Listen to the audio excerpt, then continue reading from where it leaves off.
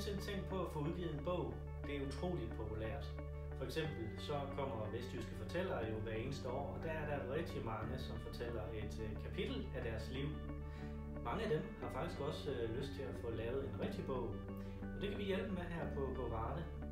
Hvad enten det er en bog, hvor vi laver det hele, altså skriver det, øh, eller en øh, bog, hvor du har lyst til at stå som afsenderen, altså øh, hvor vi bare er ghostwriter, så det er dit navn, der kommer til at figurere, så kan vi klare det hele. Vi har hele pakken.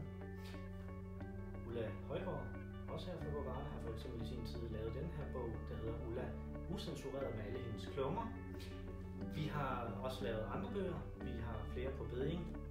Alt det, det kan du høre meget mere om ved at kontakte os på det telefonnummer, der står herovre. Og så vil jeg lige sige, at udover at skrive bøgerne, så står vi altså også for al markedsføringen af dem, og vi kan også klare markedsføringen landsdækkende. Så bare ring til os.